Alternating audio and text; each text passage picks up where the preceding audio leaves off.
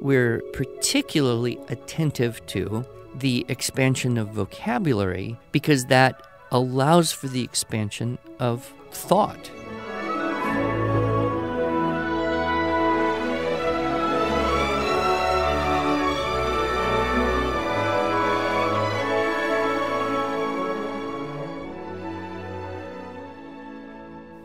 Hello, and welcome to the Arts of Language podcast with Andrew Pudewa, founder of the Institute for Excellence in Writing, or as many like to say, IEW. My name is Julie Walker, and I'm honored to serve Andrew and IEW as the Chief Marketing Officer. Our goal is to equip teachers and teaching parents with methods and materials which will aid them in training their students to become confident and competent communicators and thinkers.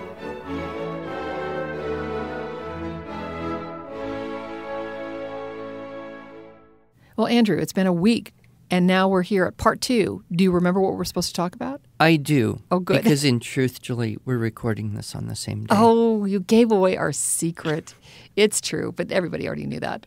But I'm really looking forward to this because last week you said you're going to talk about memories are stored in places other than the brain. Well, there is some evidence to support the idea that there's a cellular hmm. memory Oh, sure, that makes sense. and that maybe things that make us who we are are not just in our brain. Of course, there, you know, people who believe in the existence of a soul mm-hmm. and the afterlife mm-hmm.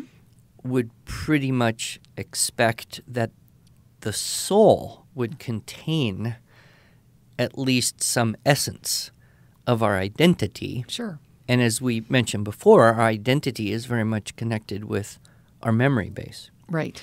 But uh, there are some very uh, interesting, almost too weird of stories about people who have had transplants Oh, okay. and Like organ transplants. organ transplants. The most notable ones are heart transplants, but there are also some stories similar to these on other organ transplants. But you know, a heart is a pretty central part of your whole body. So there's a a book called A Change of Heart. Now there's dozens of books with this title, but it uh, is the story of a woman, Sylvia, who uh, received a heart transplant.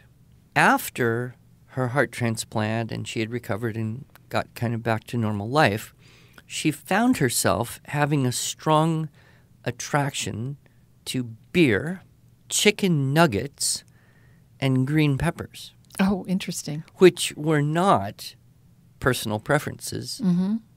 in her previous life.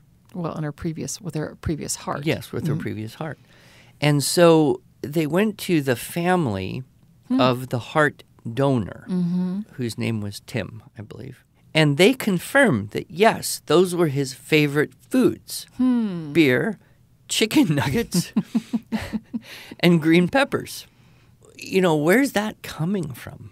Another story, which it, I, I find even more poignant to a degree, a, a 47 year old white male factory worker received the heart of a 17 year old African American boy. Mm-hmm.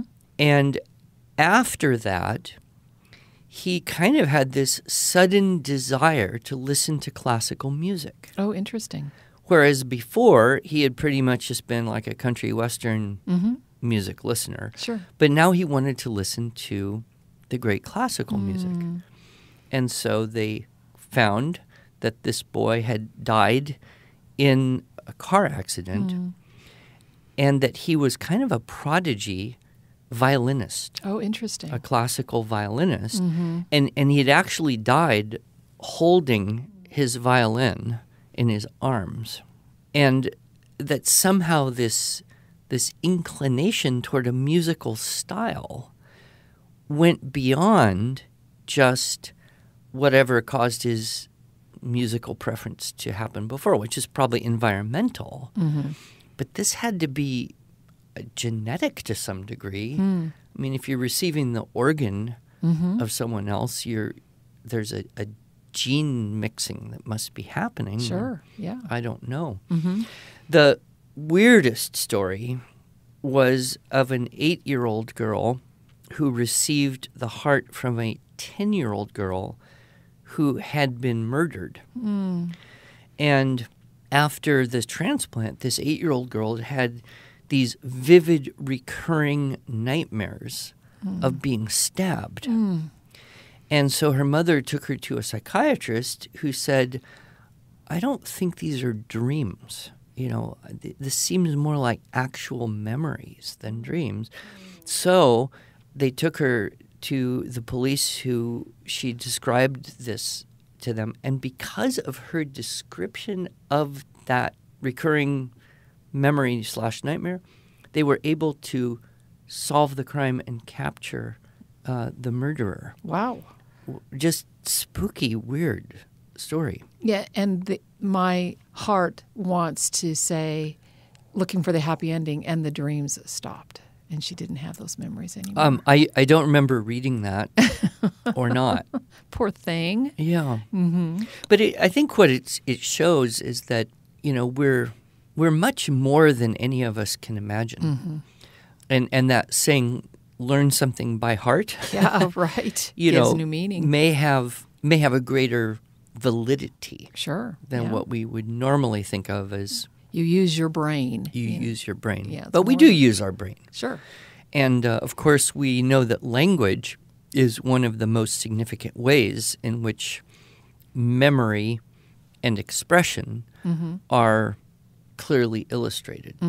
Uh, because we all grow up, almost all people grow up learning a native tongue Sure. a mother tongue. Mm-hmm. And and the reason we learn that is because it's in our environment and it's constant and it's being stored through frequency, intensity, and duration. Mm-hmm.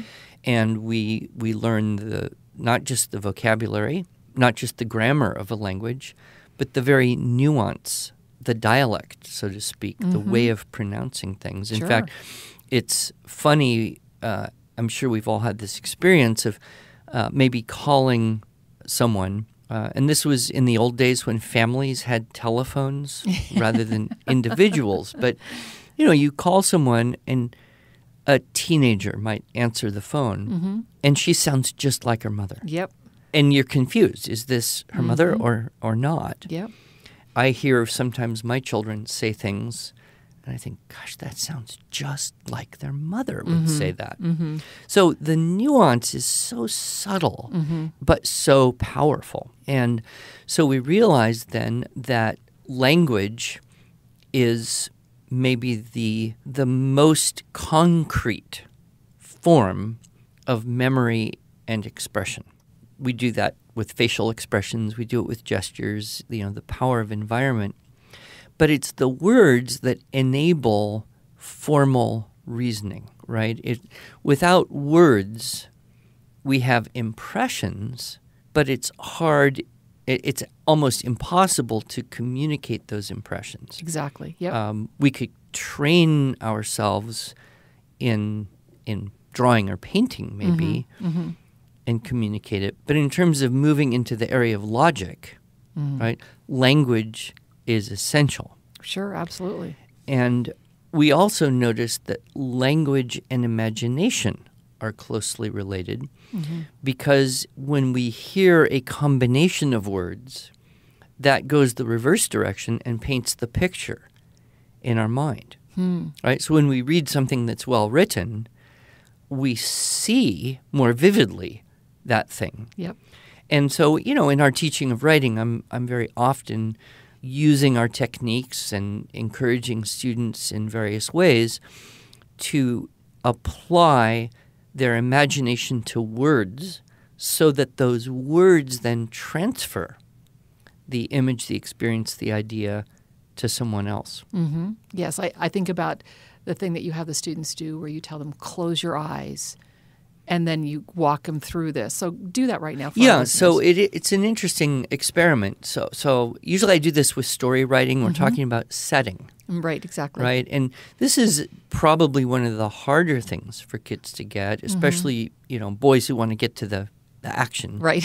but I say I'm just going to say some words, mm-hmm. and I want you to see what happens in your mind. So I usually do something like this: close your eyes. House, two story, forest green, white trim, chimney, beach, sunset, porch, seagulls. Okay, open your eyes. I want to move there. Well, what, but what happens with each word mm-hmm. is that it adds to mm-hmm. or mm-hmm. clarifies the image. And then I point out that creates also a certain mood. You want to move there. It's peaceful, tranquil, scenic. I could create a different image by saying different words house, stone, thicket, brambles, dark, cloudy, howling, shutters slap, gate creak.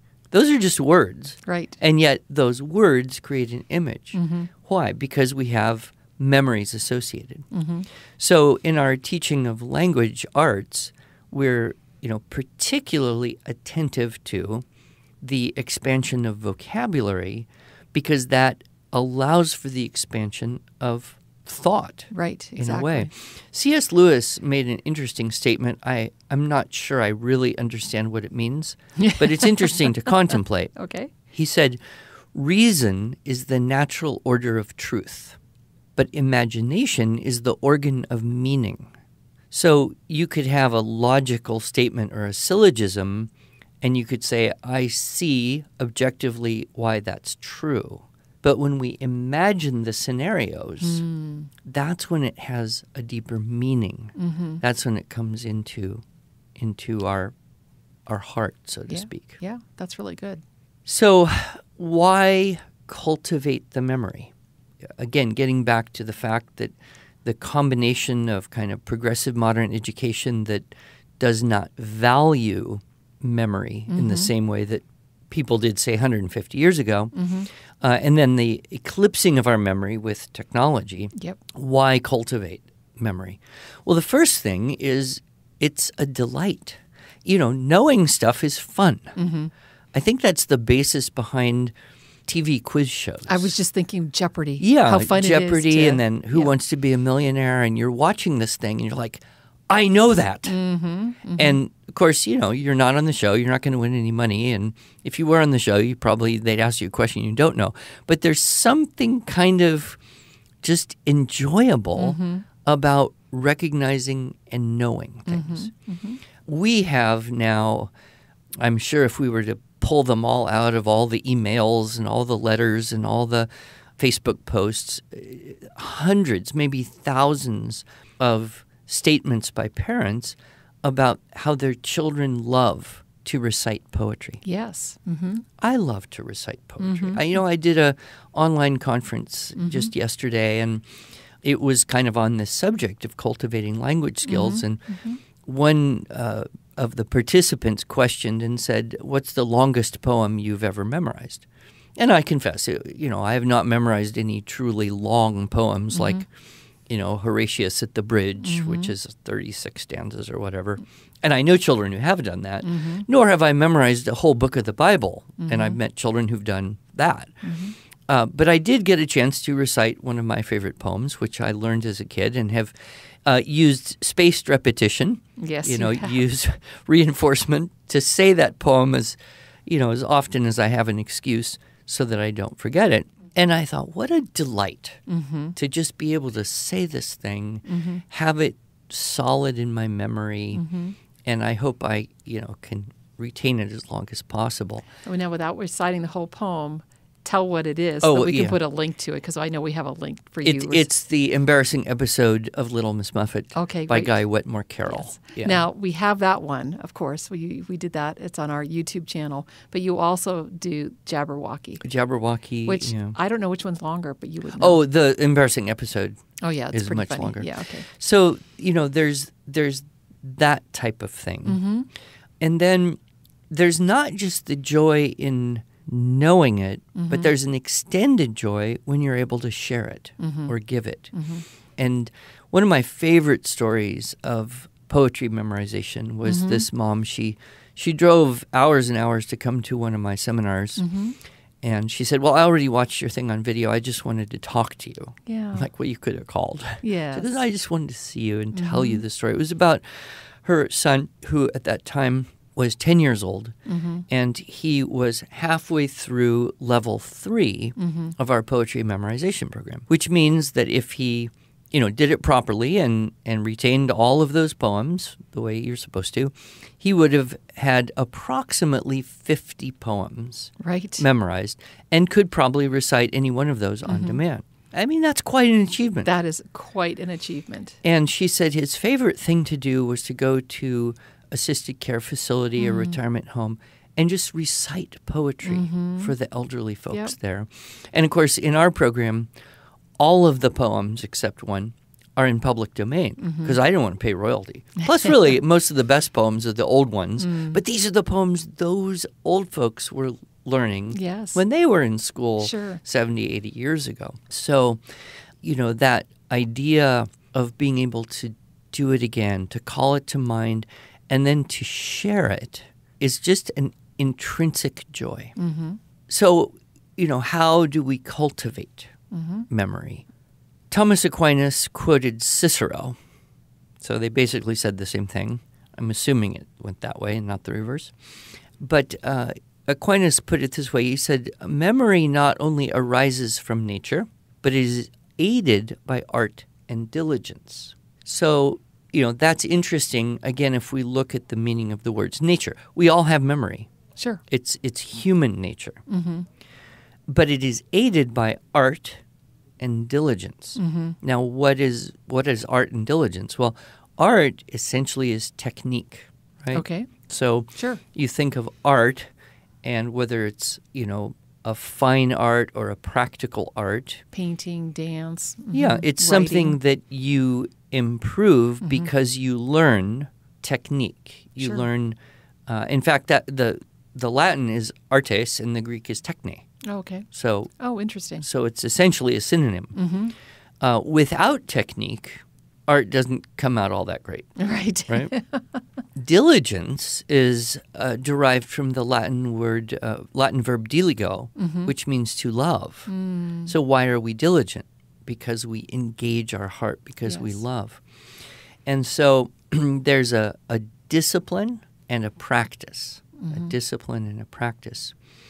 And so what's interesting is that whatever you are, whatever area you're working in, mm-hmm. whether it's dance or music or language or foreign language, mm-hmm. the more you have memorized, Hmm. the easier it is to memorize more, Okay. Sure. right? I can see that. Uh, so you know the first bible verse you memorize you might it might take you mm-hmm. a, a longer number of repetitions or a, a longer length of time until you can recite that correctly with confidence and not a lot of effort to recall you know same thing with music the mm-hmm. first piece of music you memorize uh, may take you longer the next one may go a little easier Right. the next one may go a little easier, and then maybe there's a longer one, so it's a little harder. But, you know, I have seen this uh, remarkable relationship between violin students who had maintained the memorized repertoire and the speed with which they could acquire complete memorization of a new piece versus students who did not, were not diligent in, in, in keeping that memorized repertoire, and it became increasingly harder for them mm-hmm. to learn new pieces. Okay, so I think of some of my friends who say, I just can't memorize things. It's just, it just doesn't stick. Maybe it's just because they're at the very beginning of their journey, and once they are able to, through frequency, intensity, duration, learn this, it will be easier the next. Absolutely. Um, not long ago, Psychology Today reported essentially you can improve your working memory. Okay.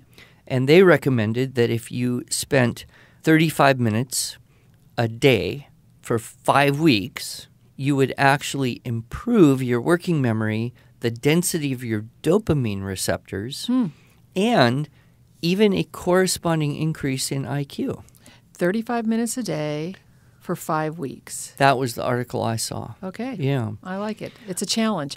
We should make that a challenge. The IEW challenge for this month is I don't know. We'll we'll, we'll play with that somehow. Yeah. I think that would be really encouraging because memory is such a part of who we are and what we do. I think it's so important. So I like this idea. Yeah, the the other thing I always love hearing about is when students uh, come into a new discipline. Mm-hmm. For example, chess. There are so many incredible stories of, you know, low income minority, mm-hmm.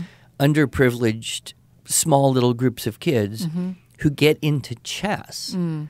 Now, part of chess, it's not just strategy, it's knowing what to do because you've memorized patterns. So if you memorize standard openings, you will do better in chess games against people who don't know standard openings. And so there's a lot of memory work. Um, there's a lot of uh, visualization that goes. It's it's kind of this all-encompassing thing where there's language and uh, spatial temporal relationships, as well as logical processes, and then mm. holding in your mind. If I do this, she'll do that. So then I could do that, and she'd do that, which means I could do that. Mm-hmm. Well, you're you're holding these, you know, three, four, five things, and then you're going, okay, now what if I do this and she does something different, mm-hmm. right? Mm-hmm. And so I love those stories of how chess rises raises people up in both their intellectual capacity to learn other things, and then of course their sense of accomplishment. Yeah. There's lots of great stories. But, you know, this idea of practicing memory is old as the hills. Sure. Um, if you go way back into the ancient times, the rhetoric, uh, the canon of memory, what were some of the techniques? That's what I want to know. Okay. Well, probably the most common was the method of loci or loci or loci. It depends on how you would say your Latin. Okay. L O C I, which is, of course, we get the word location Okay, got it. from.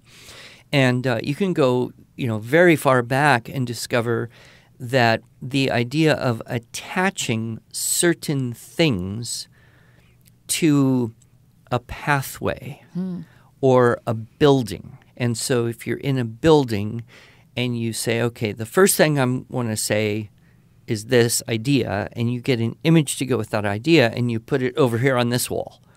And then the next thing I want to say, and you get an image to attach to that, and you put it, you know, on that bench over there. And then the next thing I want to, to say or remember, you get an image and attach with that, and you put that, you know, on the table in front of you. You can fill up the whole room or the whole building. Uh, this is what is often known as the memory palace Okay. idea. And I've I've seen a number of uh, applications to this.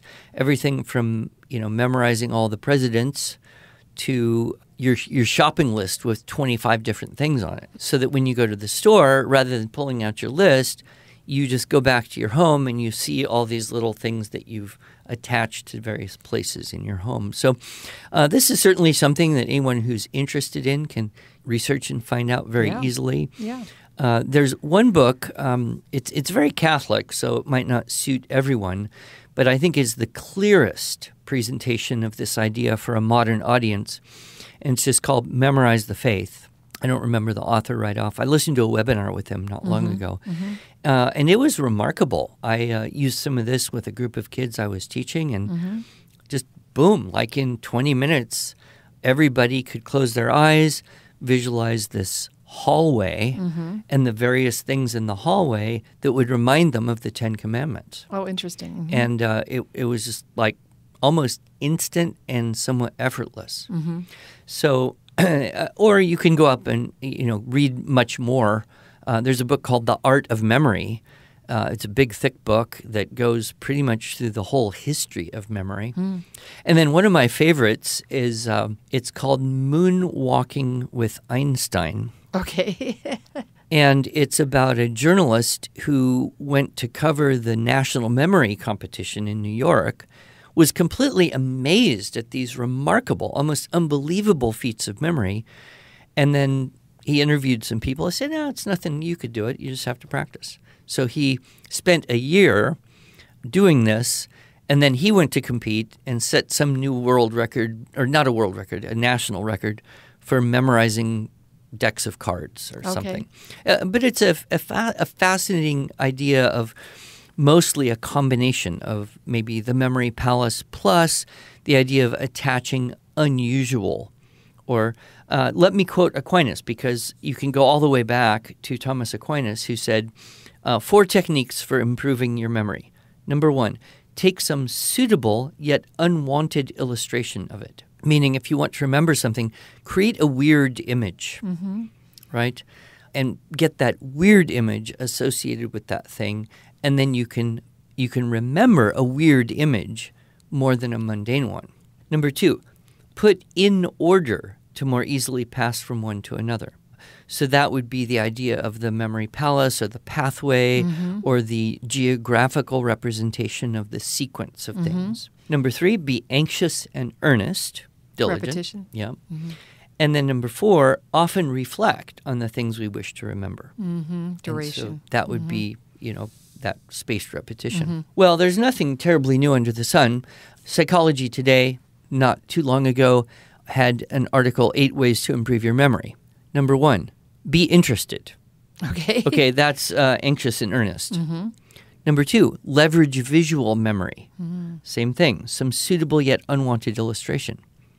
Number three, memory tree, branches and leaves. So that's kind of the idea of the method of loci mm-hmm. or loci, how you like to say it, uh, where you connect things visually in your mm-hmm. mind. Number four, connect with what you already know. That's using a mnemonic. Mm-hmm. I remember being in Japan, and the, the Japanese always used to like to teach people how to say, you're welcome in Japanese, which is doitashimashite. Right. And if you want to remember doitashimashite, you say, don't touch my mustache. Don't touch my Well, that's an easy one. Don't and so you make the transfer. So you connect with what you already know. Uh, here's something uh, Mortimer Adler was talking about decades ago. I have been talking about it. When reading, annotate Yep. or summarize in the margin. And that's connected with number six, which is write out things to be memorized over and over. You know, people have criticized um, copywork or workbooks or those types of things, but honestly, I experienced this studying Japanese. If I want to learn a Japanese character, I need to write that character every day for Right. weeks or months, and then I'll recognize it everywhere. Yep. If I don't write it, I don't remember it. Yep. Uh, number seven, afternoon study is best for most people. That's really interesting. Yeah, and I, not everybody, Right. and I don't know entirely why that's true, but Right. uh, and then uh, something I've I've heard in many different places is adequate sleep solidifies memory. I've seen many studies about this that if you nap after you uh, study something, or if you nap after you practice an activity like playing an instrument or, or something, your sleep state tends to reinforce all that. Right. That's really interesting. And then here's the really good news for many people. This was in Nature Neuroscience, Okay. 2014. Post study caffeine administration enhances memory consolidation in humans. Okay. So drink more coffee. Yeah, I guess in the afternoon. But then that mess with your sleep. yeah, that's so, be yeah. a problem with sleep. Anyway, I think uh, you know we could finish up Mm-hmm. with an understanding that there are many virtues connected Mm-hmm. with memory, um, the registry of the conscience. Yes. Right.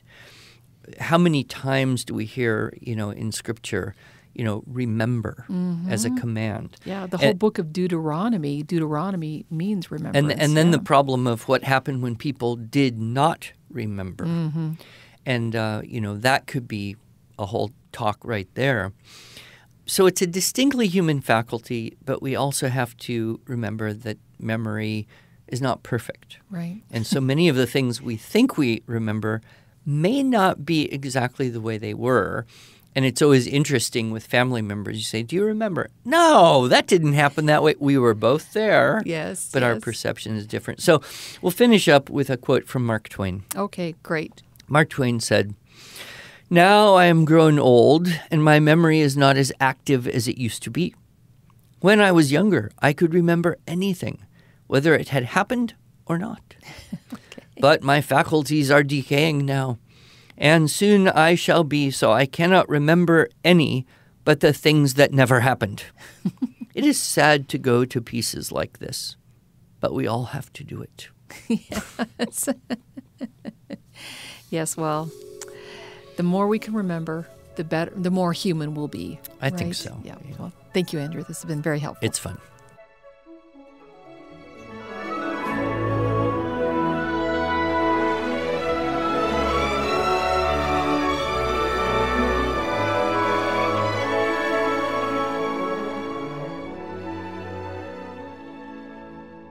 Thanks so much for joining us.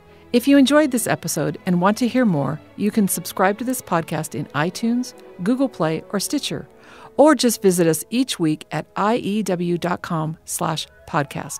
Until then, on behalf of Andrew Pudewa and the team at IEW, I thank you for allowing us to partner with you on your journey toward better listening, speaking, reading, writing, and thinking.